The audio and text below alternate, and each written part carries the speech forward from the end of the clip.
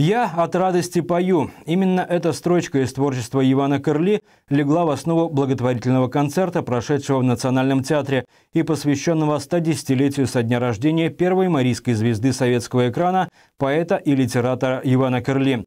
Все средства, полученные от благотворительного концерта, будут направлены на установку памятника актеру в поселке Сернур силами тех артистов, которые, наших земляков, которые когда-то родились э, в Серновском районе, а сегодня работают и радуются им мастерством жителей как э, нашей Ешкарылы, так и э, за пределами республики.